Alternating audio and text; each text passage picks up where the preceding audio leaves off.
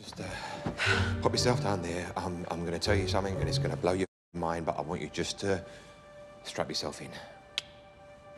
All right? Leanne, Teddy.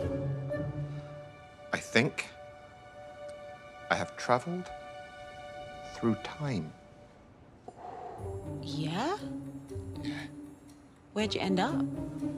Here, uh, now. You traveled through time to the present.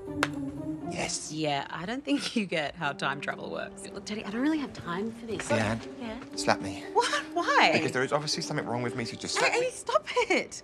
You're freaking me out. I don't like it. God, you had some weird breakdown on our last anniversary too. Right, hang on. So that, that's that's today, is it? Again? That's the thing about anniversaries. They tend to pop up once a year. I'm just trying to figure out where the last couple of years are gone. Well, maybe ask your boss, because you've spent most of the last two years at work. What happened to studying photography? Sure, definitely. I mean, at some point, but maybe a little bit of job security isn't such a bad thing. Not, not now we've got a kid. Do you know what I mean? Listen, look. When when I am rock solid, right, I will I will quit. Okay? Promise. All right.